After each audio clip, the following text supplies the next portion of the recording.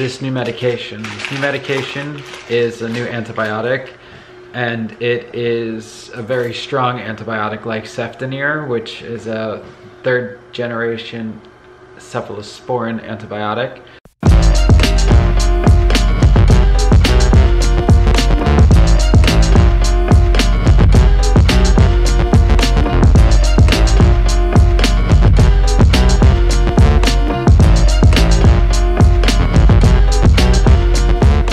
Good evening, everyone. Happy Monday. I love your melon patch was like all the way to the side. Weird. Yes, I said happy Monday. I said good evening. Why?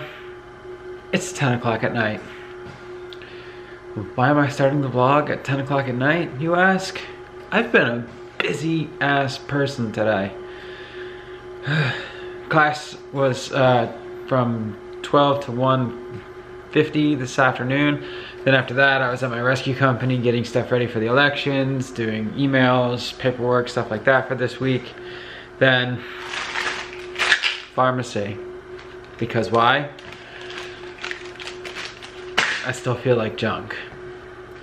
Pharmacy is this new medication. This new medication is a new antibiotic and it is a very strong antibiotic like cefdinir, which is a third generation cephalosporin antibiotic.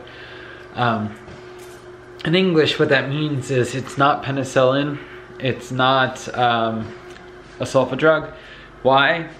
I had serum sickness to penicillin, so I can't be on any penicillin for a year, maybe, maybe two, depending, because if I take any more penicillin, my body will react to it and basically the reaction is full body stiffness, muscle rigidity, muscle failure, then organ failure.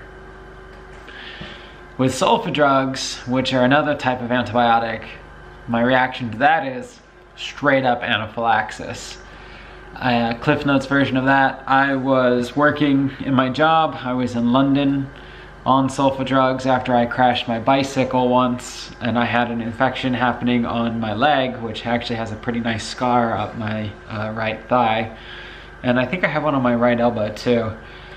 Cliff Notes, took sulfa drugs, woke up in, a, in the hotel in London covered in hives from my neck down. About five hours after that, I started to not breathe because I had taken another dose of the medicine. With sulfa drugs, it takes a while to build up in your system, but once it gets to a therapeutic level, that's when I went into anaphylaxis. Ended up spending four days in a London hospital. Fun. So yeah, can't have sulfa drugs because the stronger the sulfa drug, the faster the reaction, and I really don't feel like sticking myself with an EpiPen. So yeah, and the last seven days I've been taking Levaquin, and before that I was on Doxy for 14 days. And I'm still coughing up yellow and brown junk, and I feel like shit. So, last night, my doctor and I were texting, and we texted at like a weird, really odd hour, surprisingly. Like, I need to pull up the time that we were texting, because when I tell you it was a weird, odd time that we were texting yesterday, it was a midnight. Yeah. Midnight to 12:30 in the morning, we were texting about medicine. Yeah.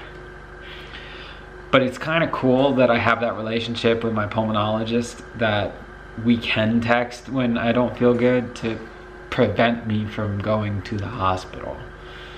So like that's a huge plus because I really hate the hospital. I really, really, really hate the hospital. Like I like the nurses, I like doctors, I like the people, but I hate hospitals.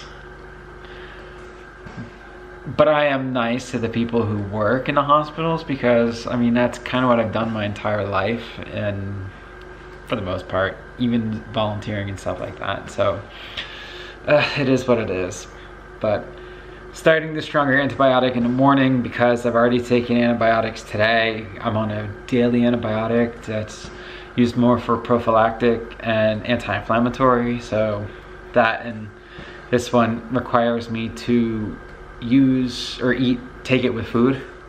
So, and it's twice a day, not once a day. So yeah, I can't win sometimes, but hopefully this one will uh, work.